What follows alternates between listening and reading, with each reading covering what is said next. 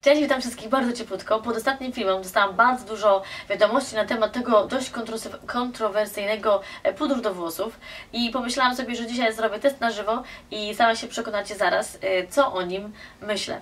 No to zaczynamy. Instrukcja jest po niemiecku, ale chyba sobie, chyba sobie poradzę.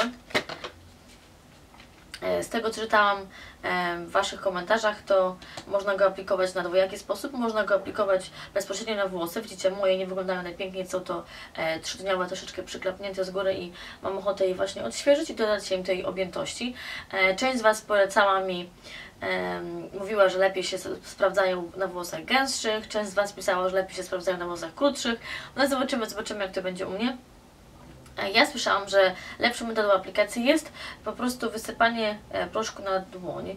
E, Nie wiem, tutaj zagaduję, wydaje mi się, że tyle wystarczy. I roztarcie go teraz pomiędzy właśnie.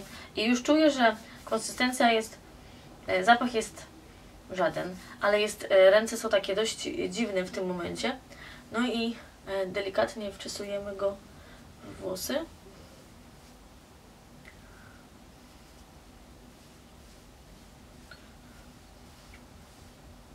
No widzicie, objętość się pojawia od razu.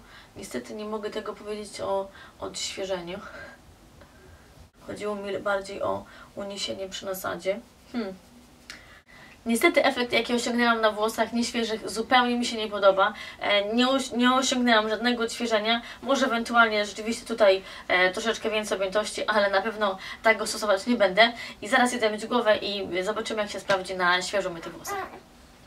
Już jestem ze świeżo mytymi włosami. E, Przed chwilą wysuszyłam je suszarką, czego często też nie robię, ale specjalnie poświęciłam się, poświęciłam się dla sprawy.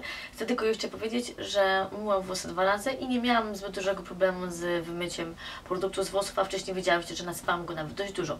E, Teraz nie będę ryzykowała, nie będę nakładała e, tego proszku bezpośrednio na skórę, tylko zrobię to między dłońmi, tak jak robiłam to za pierwszym razem. Tak?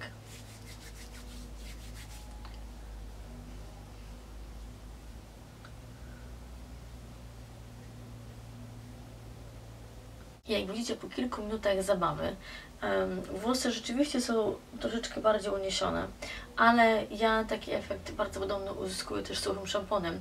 Do tego nie, nie mi włosów, tak jak widzicie, mm, nie zauważyłam tego efektu, ale włosy teraz są e, bardzo nieprzyjemne w dotyku, są takie tępe i rzeczywiście jak włożę tu rękę, to później, później e, zostaje to uniesienie. Bardzo jestem ciekawa, jak długo się utrzyma, ale powiem Wam szczerze, że jeżeli e, wiecie, że ja myję włosy raz na 2-3 dni i mm, po użyciu tego produktu wiemy o tym, że będę musiała myć głowę dzisiaj wieczorem, bo nie jestem w stanie wytrzymać e, tego, tego właśnie uczucia na włosach, bo to nie jest, to nie jest zbyt przyjemne, ale na jakieś może specjalne wyjście, specjalne wyjście, czemu nie?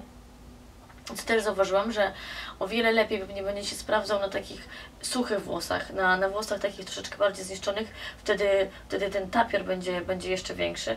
Zrobię jeszcze jeden test, rozczeszę włosy szybko, e, tak jak gdybym je wygładzę i zobaczymy co będzie po wygładzeniu. Czy dalej, jak zrobię właśnie, no tak jak myślałam, utrzymuje się, będzie się długo utrzymywać, przynajmniej, przynajmniej na moich włosach, a moje włosy są dość łatwe mm, do układania.